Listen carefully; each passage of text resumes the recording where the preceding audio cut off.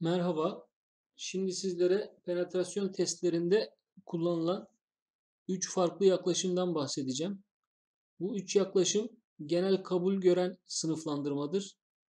Farklı kaynaklarda farklı yaklaşımlardan da bahsedilmektedir. Bu ayrım e, nasıl yapılmış?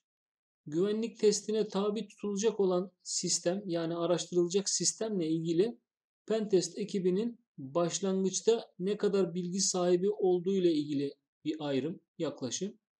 Bunlardan birincisi black box dediğimiz teknik yaklaşım.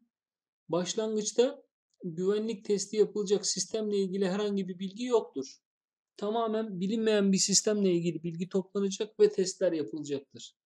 Bu yaklaşımda test ekibinin sistemle ilgili bilgi düzeyi olmadığından yanlışlıkla sisteme zarar verme ihtimalleri de yüksektir. Sistemle ilgili başlangıçta herhangi bir bilgileri olmadığı için yapacakları denemeler ve çalışmalar sisteme zarar verebilir.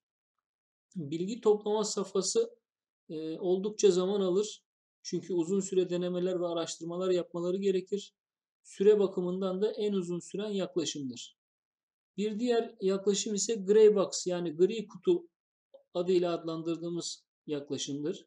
Bu yaklaşımda sistemle ilgili bilgiler vardır, mevcuttur elimizde. Örneğin IP adres listesi, sunucu sistemle ilgili versiyon bilgisi gibi bilgiler bir takım başlangıç bilgilerine sahibiz.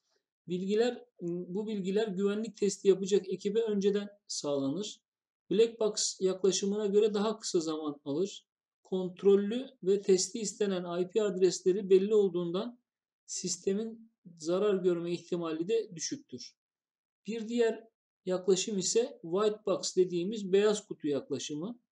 Beyaz kutu olarak ifade edilen bu yaklaşımda güvenlik testi ekibi sistemin kendisi ve arka planda çalışan ilave teknolojilerle teknolojiler hakkında tam bilgi sahibi sahibidir.